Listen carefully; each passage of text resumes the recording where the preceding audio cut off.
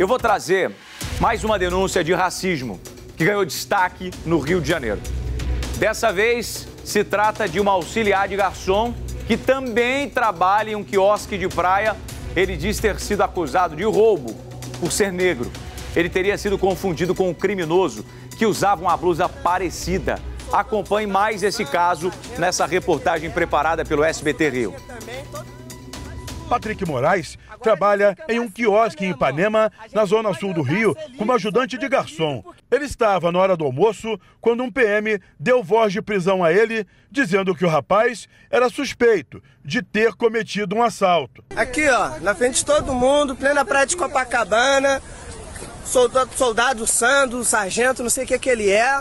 Só soldadinha também, todo mundo aqui vendo de prova, me enquadrando. Esse vídeo mostra o jovem trabalhando com uma camisa azul devidamente identificada com o nome dele.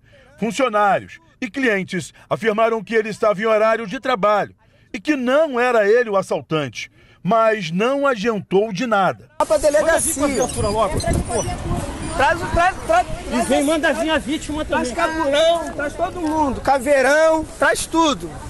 Agora a gente tem que andar assim, Ipanema, ó. A gente não pode andar, ser livre, ser um preto livre, porque a polícia te enquadra achando que tu é ladrão. A vítima diz que tem a mesma característica que a minha. Eu quero ver essa vítima, eu quero saber se ele é sujeito, se é sujeito. Eu quero saber o que está acontecendo. No vídeo, o oficial da Polícia Militar afirma que uma vítima tinha sido assaltada por um homem negro vestindo uma camisa azul na orla da praia de Ipanema e que por isso estava detendo o rapaz, mesmo sem ter a certeza.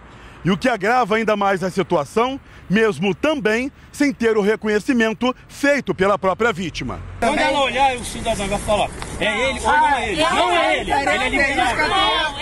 Bateu o ponto, ela trabalhando. Sim, mas Não eu existe isso. Não existe uma vítima. Meu querido, você dá voz de prisão. Depois de muita discussão e todo o constrangimento, a gerente do quiosque conseguiu convencer o oficial da Polícia Militar que Patrick não era o assaltante. E o jovem foi liberado. Nas redes sociais, Patrick fez um desabafo e agradeceu pela ajuda das pessoas que estavam no local.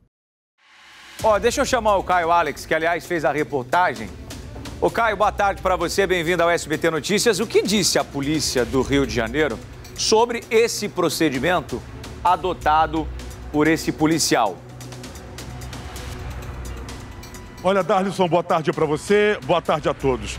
Em nota, a Polícia Militar informou que o procedimento de um policial normal, caso ele desconfie de uma pessoa em qualquer local, é fazer a abordagem, pegar a documentação e, se houver, por exemplo, a vítima, as pessoas têm de ser conduzidas à delegacia para algum registro. Se não, se não houver qualquer tipo de suspeita ou algo que incrimine aquela pessoa, ela tem de ser liberada. Só que no caso do Patrick de Moraes, não foi isso que aconteceu. Esse capitão da Polícia Militar estava com pelo menos mais uma policial e ele não estava ao lado da vítima. Quando ele fez a abordagem ao rapaz, o garçom, ele só foi identificado pela camisa e pela cor dele.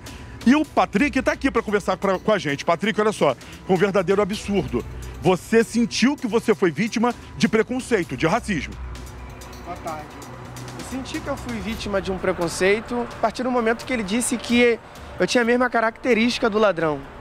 Isso é inadmissível. Não existe isso. É, um policial, um oficial da justiça dizer que eu tenho a, mesma característica do ladrão, sem mesmo fazer, conforme nosso amigo disse, a, abordagem normal, pedir meus documentos. Ele não fez nada disso. A sua sorte naquele momento foi que havia ali mais pessoas, advogados, pessoas no quiosque, a sua gerente, que sabem quem você é da sua índole e te defenderam. Graças a Deus, tudo ocorreu bem. Tinha pessoas que viram a abordagem dele e acharam aquilo um cúmulo. E, para minha sorte, muitas pessoas ali eram advogadas.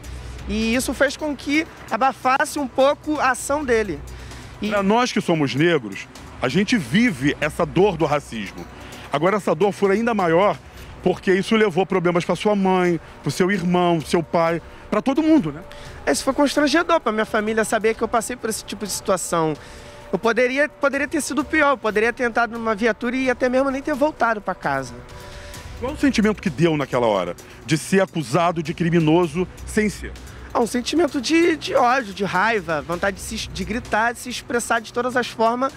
É tipo um pedido de socorro que a gente tem. Esse pedido de socorro, Darlison, foi muito importante, porque em nenhum momento o Patrick baixou a cabeça. E ele pediu ajuda às pessoas que estavam na orla, ali de Ipanema. As pessoas, conhecendo ele, foram conversar com a polícia militar, os policiais, dizendo que ele era uma pessoa de bem. Dessa vez aqui no Rio, esse negro, como eu também sou negro, teve a sorte de sair dali sem estar preso.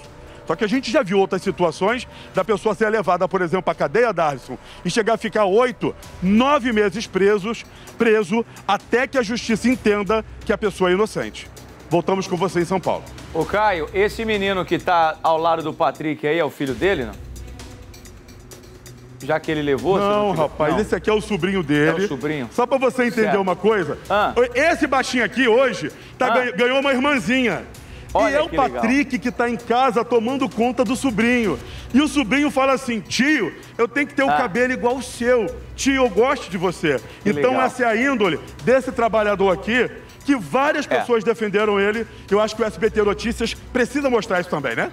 Ô, Patrick, eu sei que você está me ouvindo. Ó, eu quero dar os parabéns para você, dizer para o seu sobrinho que ele tem um baita de um tio Obrigado. que não fica calado quando uma injustiça acontece. E mais Obrigado. do que os parabéns para você, Parabéns para sua patroa e para todos os clientes do quiosque que viram uma injustiça na cara sendo cometido por um policial e não se calou, foi defender os seus direitos. Porque, infelizmente, gente, Sim.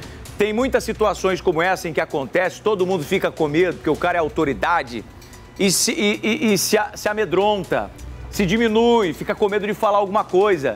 E aí foi o que o Patrick falou a pessoa é levada, aí é, é agredida quando não acontece o pior por causa da cor da pele, que tem gente ainda que faz diferença na sociedade nesse sentido. Obrigado, Patrick, mais uma vez, parabéns. Pode contar com o SBT Notícias.